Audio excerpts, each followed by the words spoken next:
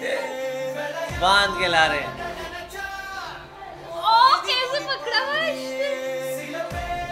जैसे सेम उसमें लेके आए थे। लगेज पकड़ा हुआ हो। हाँ हेलो गाइस आप सबका स्वागत है आपके फेवरेट रिएक्शन चैनल में और आज हम लेके आए हैं बीस्ट मूवी के क्लाइमैक्स सीन का रिएक्शन एंड ये जो सीन है बहुत ही कमाल का होने वाला है बिकॉज़ ये है मैंने तो देखा ही हुआ इसलिए मेरे को पता है कमाल का होने वाला है। लेकिन साथ में ये है कि लाइक अब जो है क्योंकि गेम इतनी जो ज़बरदस्त हो गई है जिस तरीके से पूरी सेटल हो गई है तो वो चीज़ देखने लायक होगी बिकॉज़ यहाँ पे अभी तक ये हमने जो मेन विलन था जो पूरी मूवी में अभी तक परेशान करता मॉल का वो अभी मर चुका है। अब बात आएगी कहीं ना कहीं किस तरीके से वो उमर फारूक के साथ लड़ते हैं, क्या करते हैं तो देखते भाई, मुझे भी यही ऑब्वियसली लग रहा है कि अब लास्ट सीन में एक मिनिस्टर का बताएँगे और वो जो उमर फारूक निकल गया है उसका बताएँगे बिकॉज़ ऑब्वियसली कुछ ना कुछ तो विजय जी उनका करेंगे और मिनिस्टर तो उनके सामने ही खड़ा है, हाथ में बंदूक भी है सो यू नेवर नो कि क्या हो सकता है बिकॉज़ मिनिस्टर अब साफ़ पता दिख ही रहा है कि मिले हुए हैं एंड देखते हैं कि अब आगे क्लाइमेक्स सीन में क्या होने वाला हैं। वही साथ में देख लेते हैं। और साथ में आपको बताना चाहूँगा, समरदीप के चैनल पे हमने हमने, हमारा बीटीएस भी डाला हुआ है सो आपको देखना हो आप ज़रूर जाके देखेगा बिकॉज़ बहुत लोग हमें पूछते हैं कि लाइक क्या करते हो तुम लोग बिहाइंड द सीन्स और मैं है इस एंड चैनल शूट पे कैसे करते और मैं थोड़ा आलसी हूँ तो मैं इस चैनल पे ज़्यादा डालता नहीं हूँ एडिट करते वक्त तो फटाफट एडिट करके डाल देते हैं सो आप जाके फटाफट हमारे पूरे वीडियोस जाके देख सकते हैं so let's start Chennai east coast மாலில் நேற்று நடந்த ஹைஜாக்கிற்கும் உள்துறை அமைச்சருக்கும் தொடர்பு இருப்பது ஆதாரப்பூர்வமாக தெரிய வந்ததால் Arrest कर लिया है। உள்துறை அமைச்சர் கைது செய்யப்பட்டுள்ளார் மாலை கைப்பற்றிய அனைத்து हमें लगा था शायद मार ही देंगे उनको भी। போராடி भाई, क्योंकि arrest நூற்றுக்கணக்கான करके तो அப்பாவி छूट ही பொதுமக்களை जाते हैं ना। காப்பாற்றிய முன்னாள் मेरे को मूवी में लगा था, வீரராகவன் पर ऐसा हुआ नहीं। எங்கே என்பது குறித்து எந்த தகவலும் இல்லை one month later B okay इतना सुंदर लैंडस्केप है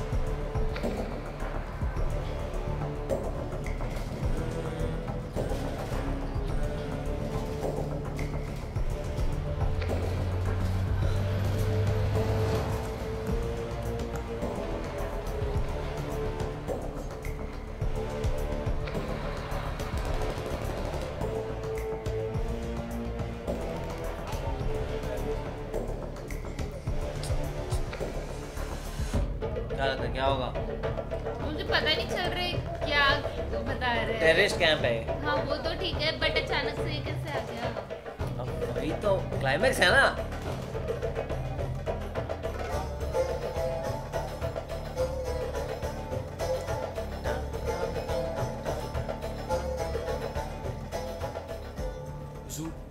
इस टाइम पे हलन हमें जल्द से जल्द यहाँ से निकल जाना चाहिए। अब हम लोग यहाँ पर सेफ़ नहीं है। हमें अफ़गानिस्तान के लिए निकलना चाहिए। अच्छा। जब तक जब तक मैं अपने भाई के कातिल को खत्म नहीं कर देता और वो पीछे बिल है नहीं तो उस बिल में घुस मैं यहाँ से हरगिज नहीं जाऊँगा। हाँ बोलो। फिर राघवन की खबर मिली। हुजूर।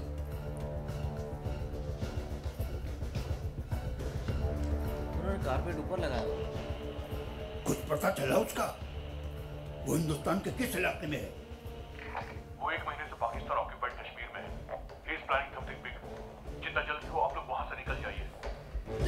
घर में घुस के मारने वाला सीन होने वाला है क्या? वो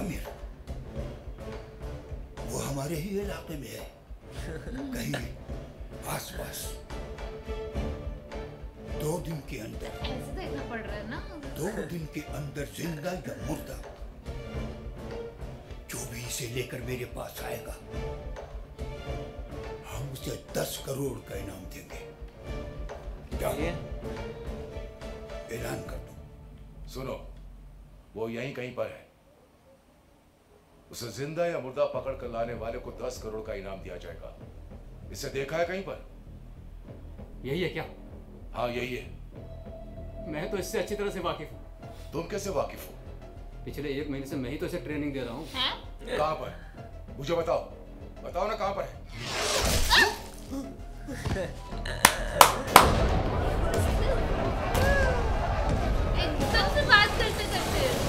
उन्हीं के कैंप में वो एक महीने से थे एज अ ट्रेनर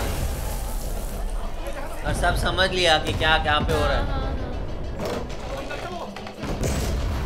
वो एक्चुअली बिल बनाया हुआ मैं तो इनको चिमनी में घुसा था। चिमनी? हाँ पता नहीं लगता नहीं वहाँ पे बच भी जाते। यहाँ पे पता लग जाएगा।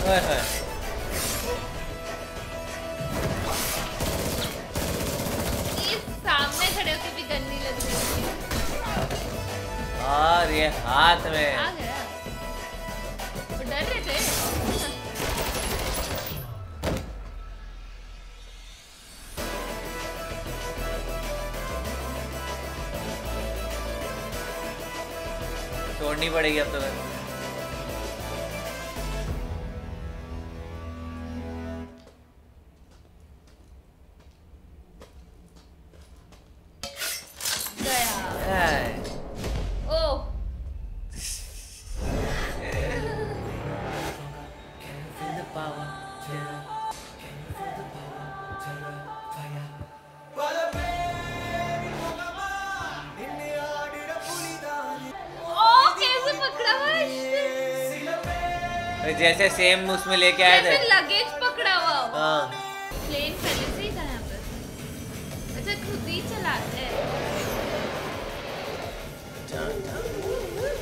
Mayday, Mayday. This is Veera Raghavan. I want to speak to Altaf Hussain right now. Pakistan में घुसकर एक हिंदुस्तानी स्पाई उमर फारूक को अगवा करके ले गया ये बात अगर मीडिया में लीक हो गई तो पाकिस्तान की इससे बड़ी बेइज्जती और नहीं होगी। टेक हिम डाउन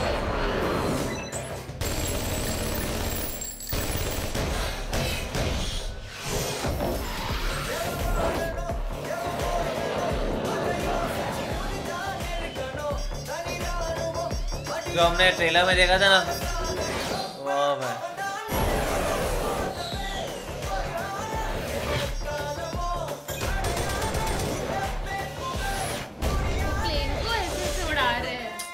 से मुमकिन नहीं है we need air support send in to F-16s right now. Altaf, I'm in Pakistan airspace. I need air support. Do you copy? I'm in Sukhoi 30 Mark 1. Locate me. Now. Mister Veeraraghavan எங்ககிட்ட permission வாங்காம உன் இஷ்டத்துக்கு பண்ணிட்டு வரதுக்குலாம் எங்களால் ஏர் support கொடுக்க முடியாது புரியுதா உங்ககிட்டலாம் permission வாங்கணும்னா அப்புறம் தான் என்னைக்கு போய் உமார் ஃபருக்கு தூக்குறது மிஸ்டர் அல்டா உமர் ஃபருக்கை தூக்கிட்டியா? ஆமாம் அவன் ஃப்ரீயாக சுற்றுறது எனக்கு தூக்கம் வர மாட்டேங்குது. என்ன பண்ண சொல்கிறேன் அதுக்குன்னு சடனாக பாகிஸ்தானுக்குள்ள ஜெட் அமிச்சா வார் வந்துட போதியா? வார் வருமான்னு தெரியாது. ஆனா இன்னும் ஒரு மாசத்துல எலெக்ஷன் வரப்போகுதுன்னு தெரியும். வரட்டும். எலெக்ஷன் வந்தா என்ன? எலெக்ஷனுக்கு ரெண்டு மாசத்துக்கு முன்னாடி உங்க கவர்மெண்ட்டே பிளாக் வார் பாகிஸ்தானுக்கு தப்பிச்சு போன ஒரு terrorist within one month India Pakistan உள்ளே போய் அவனை தூக்கிட்டு திருப்பி இந்தியாவுக்கு வந்தாங்க அப்படின்ற நியூஸ் நாளைக்கு வேர்ல்டு வைடு ஃபிளாஷ் ஆச்சுன்னா இன்னும் ஒரு மாசத்துல வரப்போற எலெக்ஷன்ல இதே கவர்மெண்ட் திருப்பி ஜெயிக்கும்னு உங்களுக்கு தோணல? மேபி உங்களுக்கு தோணாம இருக்கலாம். ஆனா நம்ம பிரைம் மினிஸ்டருக்கு கண்டிப்பா தோணும். அவர்கிட்ட பேசிட்டு திருப்பி கூப்பிடுங்க. Running out of time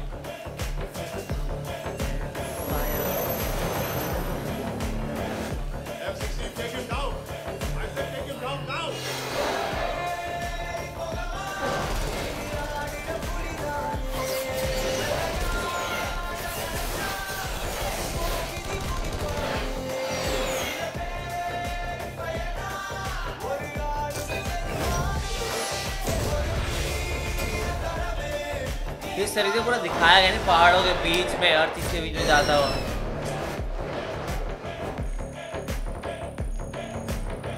Are you out of your senses? India से भागा एक टेररिस्ट पाकिस्तान से ज़िंदा पकड़ के ला रहे हैं। एक महीने में इलेक्शन है और इस टाइम ये न्यूज़ मीडिया में फ्लैश होती है तो सरकार हमारी ही बनेगी। वो ये काम अपनी पर्सनल वेंजेंस निकालने के लिए कर रहा है। लेकिन इसका फ़ायदा हमें ही मिल रहा है ना?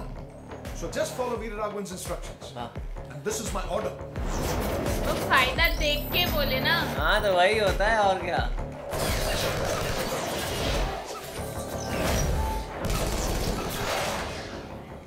वीरा माधव से क्या What do you want?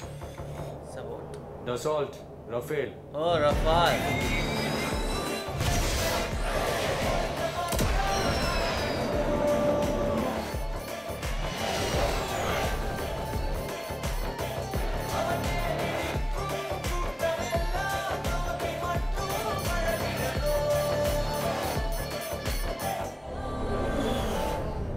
reporting Rafael reporting waiting for your command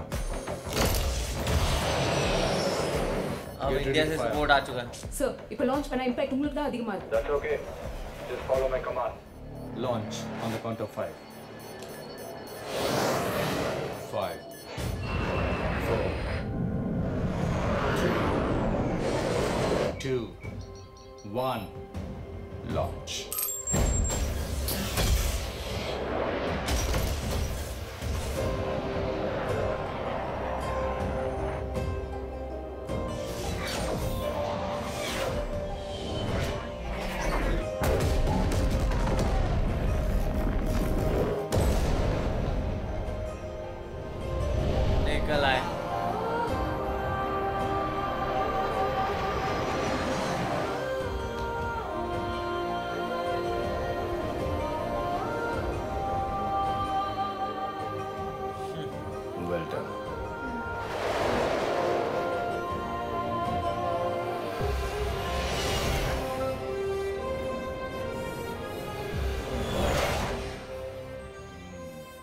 சரி நீயும் எலெக்ஷனே வச்சு எங்களை பிளாக்மெயில் பண்ணி எங்களை லாக் பண்ணிட்டல பயங்கரையா நீ பின்ன வேற என்னப்பா பண்றது?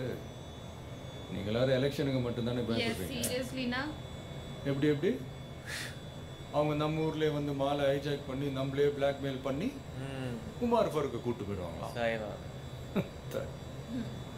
உமார் ஃபருக்கை விடக்கூடாதுன்னு அன்னைக்கே முடிவு பண்ணிட்டேன். அப்புறம் உங்களுக்கு தான் தெரியுமே. நான் ஒரு வாட்டி முடிவு பண்ணிட்டேன்னா என் பேச்சை நான் கேட்க மாட்டேன். इवन तो मैंने सीन देखा हुआ पर वापस देखने में काफ़ी सारी इंटरेस्टिंग चीज़ें पता लगने को मिलती है। बट मेनली चीज़ ये भी है कि थोड़ी चीज़ें ऐसी भी है जो आपको थोड़ा सा ऐसे मतलब कॉन्सेप्ट को हिलाती हैं बिकॉज़ कैसे पीओके में हमारा जेट कैसे पहुँचा। और अगर पहुँचा था तो अगर उनके सामने ही खड़ा था टेररिस्ट के सामने तो आई थिंक सो उन्होंने पहले ही उस पर कुछ ना कुछ उन्होंने कर दिया होना चाहिए था। सो वो चीज़ें थी। तो बहुत सारे क्वेश्चन थे जो उस आंसर नहीं हुए थे। फिर उसके बाद अगर अटैक हुआ था तो फिर जैसे कुछ इम्पैक्ट ही नहीं आना अटैक का तो वो चीज़ें थी। बाकी अगर लॉजिक हटा दिया जाए ना तो पूरा एंटरटेनमेंट वैल्यू के हिसाब से काफ़ी एंटरटेनिंग था। मेरे को ये था कि थोड़ा सा और थोड़ा कुछ और पार्ट हो सकता है लाइक इमोशनल पार्ट जो लास्ट में उन्होंने बोल रहे थे कि भाई कैसे वो बच के आ गए या उन्होंने क्यों किया वो थोड़ी चीज़ और बताते ना तो मेरे ख्याल से और थोड़ी सी सिग्निफिकेंस इस सीन के अंदर जुड़ती थी। क्या कहना है? वही मतलब लेकिन लास्ट में उन्होंने उसकी जगह एक थोड़ा कॉमेडी कॉन्वर्सेशन रख दी ना कि इलेक्शंस के नाम पे तो आप लोग सब हिल जाते हो तो ऑब्वियसली उसी के नाम पे ब्लैकमेल करते तो ही वो उनकी बात मानते और वही हुआ भी। उन्होंने भल देखा तो अपना फ़ायदा है कि भले जो भी कर रहा है बट इन दी एंड तो हमारा ही फ़ायदा हो रहा है ना इलेक्शन आने से। सो so, जो वो कह रहा है वो मान लेते हैं और टू वे बेनिफिट्स थे ना लाइक वो उमर फारूक भी पकड़ा जा रहा था और इलेक्शन में भी उनकी तारीफ़ हो जाती।